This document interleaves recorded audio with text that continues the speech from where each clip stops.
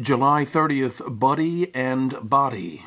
Birthdays today include blues guitar god George Buddy Guy and actor, quote unquote, Arnold Alois Schwarzenegger. The former is one of the most notable musicians of his generation.